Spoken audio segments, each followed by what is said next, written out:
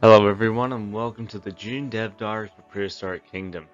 So there's a little bit to cover after update 11 and a lot of stuff to look forward to with update 12.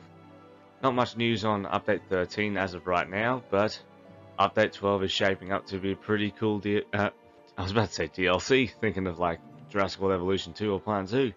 Um, but a pretty cool update. So let's have a look. So overall, Update 11 was a big success and the devs are very pleased with the responses to the new managerial aspects of the game going forward. It helped build many new systems that can be further improved on in the future to bring in a variety of new features on top of them. They say that by utilizing a public testing branch, they managed to take care of a lot of the main issues that were being found and looks to be something that they'll be doing in the future. Balance, however, can be further improved and some of the issues won't be able to be fixed until update 12 at the earliest.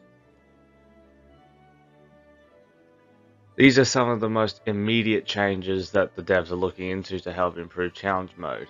Increase the, start, the, the starting cash across all difficulties, add the loading bay and staff center to new saves by default, increase the human movement speeds, reduce the amount of time individual guests spend in the park and it, to improve the flow of the ticket sales, reduce the construction and upkeep cost of park service buildings, split the building category parking infrastructure into park services and park logistics, this would make searching for more convenient and better support for future logistics modules. Showing the travel time um, slash delay on modules that need to be stocked, indicating how long it actually took for a staff member to arrive. Showed the staff efficiency, indicating how many tasks they're able to complete before going on a break. And add a convert to sandbox game button in the options menu, allowing players to rescue challenge games that are struggling. Okay, that is something that I wish we could do in Jurassic World Evolution 2. Um, and like uh, Planet Zoo potentially as well. Because like if, if you if you're really struggling, you could save your game, you could save yourself. And like particularly in Jurassic World Evolution 2 when I've played the challenge modes, that was it was really annoying when everything went to hell.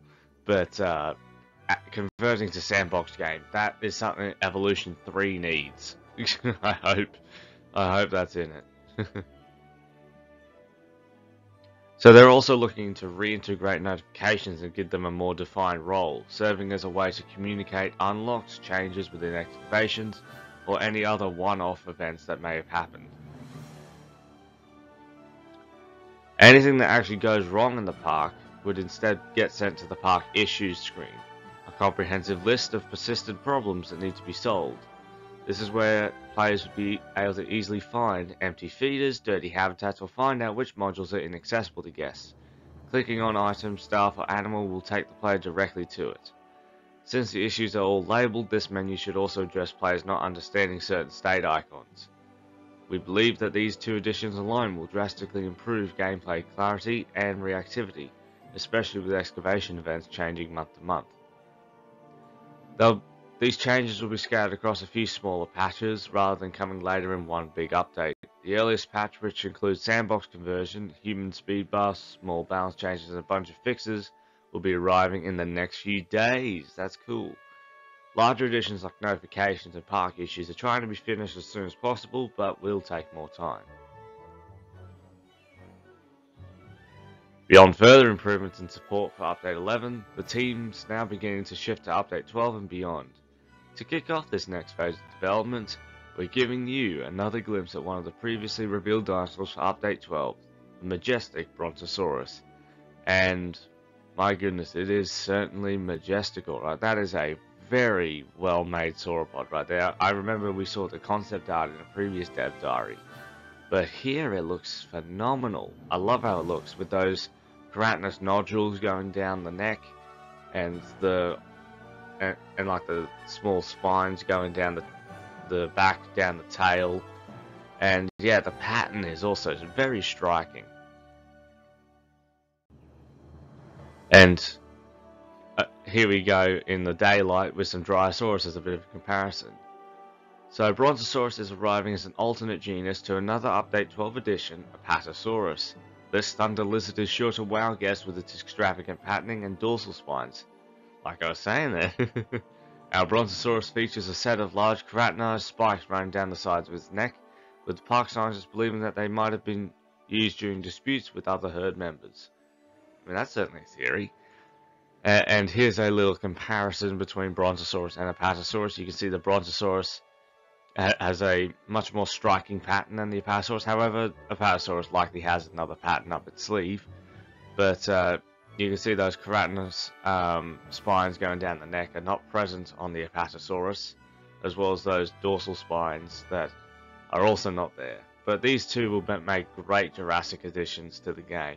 And not to mention Ankylosaurus is also in this update as well. So one of our goals for update 12 is to revisit a few systems like the park rating to see where it can be tidied up. With this proposed update to the management view, the park rating will display a clear breakdown of its components and current progress towards the next goal. Additional guest variation is one of the things that the devs didn't get time to get back to in update 11 was clothing variation. Update 12 will correct this by not only including alternate outfit colors, but introducing props for visitors to use like hats and phones. Okay, that's actually going to be pretty cool. I know Planet Zoo does that, but Jurassic World Evolution 2 sort of needs to improve their guests in that regard as well. Like the guests are very uh, somewhat bland in, in the Evolution games. Maybe Evolution 3 could fix this and give us some more lively guests. Like I think I was mentioning my new features speculation videos that they should be somewhat akin to the Planet Zoo and Planet Coaster guests in terms of their liveliness and and actually being exciting to watch interact with your park. So yeah, that's certainly something I'd like to see with Prehistoric Kingdom, and I'm glad they're considering it.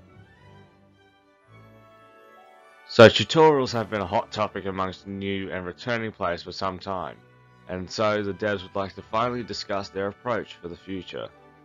First, let's talk about the requirements.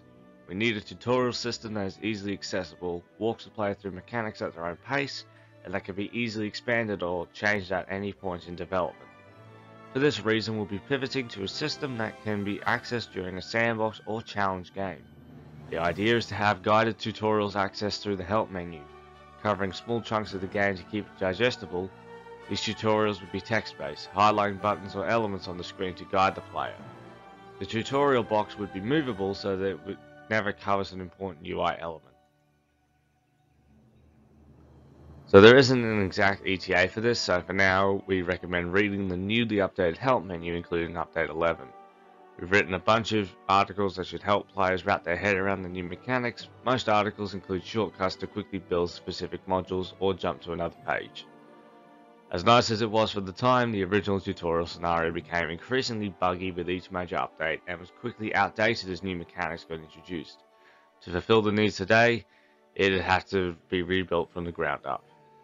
We are not opposed to revisiting scenarios again in the future. We love them as much as you do. But the dev team required, oh, dev time, I thought it said team, required to build and maintain them isn't on the table right now.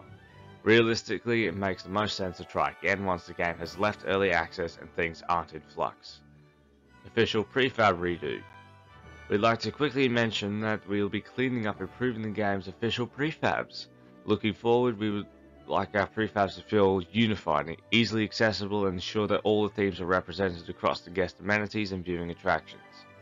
We understand that there are players out there who may not enjoy modular building or simply find it too overwhelming. So redoing our prefabs, we're taking this opportunity to create something that we hope is more appealing for that plug and play experience. And yeah, I, I can see some, some of the reasons, like I've seen many people, I think it was uh, Evolution Square, I think she was mentioning in her Jurassic World Evolution 3 once video uh, that she didn't want it to be as modular as something like Planet Zoo or Prehistoric Kingdom, as the more simplistic building style was um, sort of her preferred um, way of playing the game. If I if I get that right, I'm sorry if I didn't get it quite right, but I can see where she's coming from in that regard.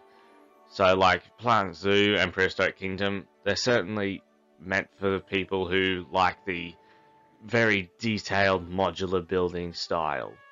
And Jurassic World Evolution is not that style. It has it has already pre-built buildings that you can just place around and they serve their purpose.